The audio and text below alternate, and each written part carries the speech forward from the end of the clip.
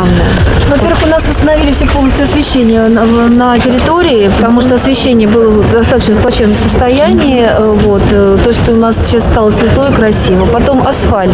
Поменяли весь полностью по всей территории тоже асфальт. Очень хорошо установили бордюрный камень. В разговоре со спикером Рязанской городской думы Юлией Рокотянской администрация 125-го детского сада не скрывает своего восторга и от того, что учреждение попало в национальный проект «Демография», и от того, что подрядчик обустроил прилегающую территорию, да и от того, что очередь в ясли значительно упала тоже. Все потому, что вот эта современная пристройка к детскому саду фактически убрала весь ажиотаж вокруг мест для малышей двух-трех лет. Такое решение для детских садов Рязани применили уже пять раз. Будет больше.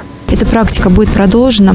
Она одобрена на федеральном уровне, эта практика. Для нас это очень важно. И э, те средства, которые к нам поступают, это средства в части э, очень важных таких моментов, национальных проектов, которые говорит нам наш президент, она будет продолжаться. Мы всячески будем максимально этому способствовать, весь депутатский корпус. Внутри новой ясельной группы все как на витрине, образцово-показательно. Новые игрушки, мебель, есть даже свое электронное пианино. Каждая из пристроек вот этих, она а, открыта для 80 детишек до трех лет, которые вас придут в детский сад или уже вот пришли. В этом году построено 5 пристроек. Вот эта пристройка была сдана 28 ав- августа, и уже вот э, дети с 1 сентября пошли а, в новые пристройки. Все пристройки однотипные по стилю, но очень разные внутри уже а, учитывалось мнение педагогического, воспитательного состава детского сада, также родителей.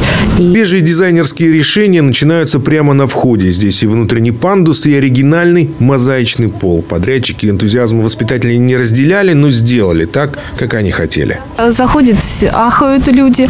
А, и Придумывали тоже, уви- увидели идею в интернете, придумали, воплотили.